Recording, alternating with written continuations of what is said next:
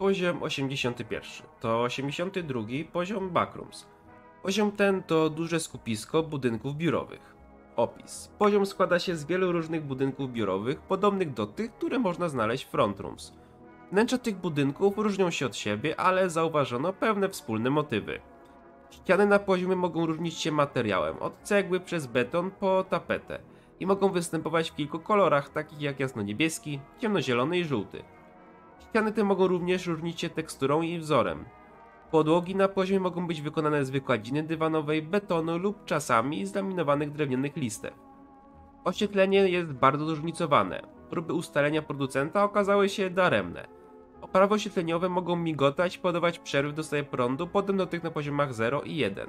Pomimo tych niedoskonałości, poziom ten posiada niezawodną sieć energetyczną, a za tym idzie Wi-Fi. Okna są powszechne i bezpieczne, dotąd nie odnotowano żadnych obserwacji istoty numer 2. Przy pierwszym wejściu na poziom będzie on naturalnie cichy. Po kilku godzinach wędrówki można usłyszeć różne odgłosy zwierząt, można je napotkać, a podążając za nimi.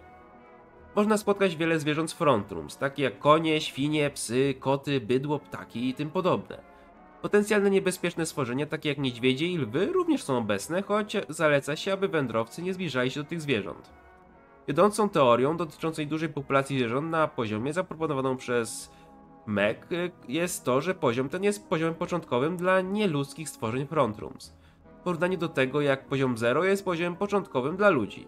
Mimo obfitości zwierząt frontrooms na poziomie można również napotkać różne byty, tak jak smilery, skinstealery, męskie śmierćmy, dulerów, Jerego, ogary.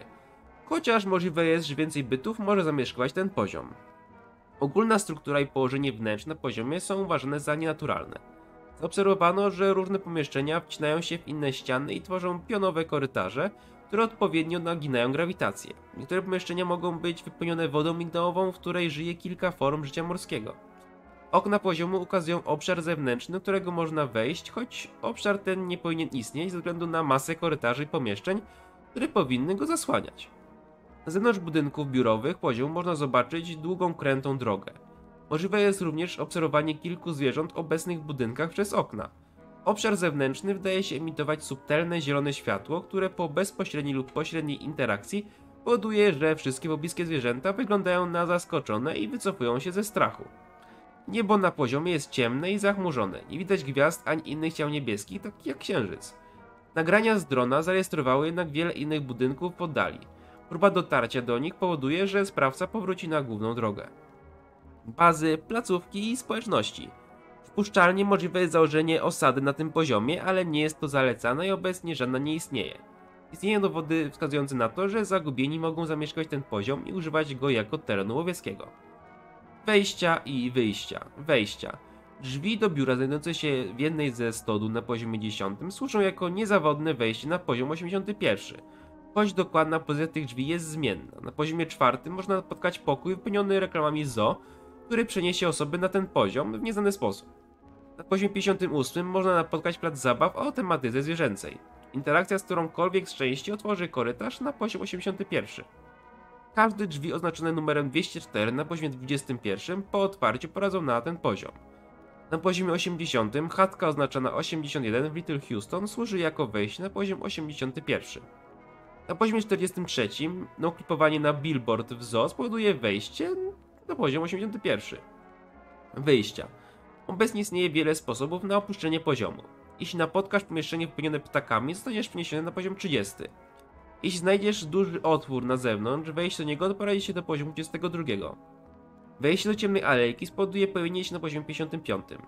Czasami drzwi na poziomie 81 mogą bez ostrzeżenia przenieść się na poziom 0, 4, 37 lub 62. Podróż przez natywny system kanalizacyjny poziomu 81 może prowadzić na poziom 34 lub 41.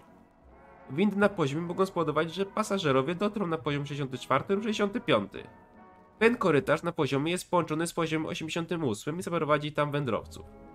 Niektóre betonowe pomieszczenia biurowe na poziomie prowadzą do betonowych skrzyń typu 2 na poziomie 170.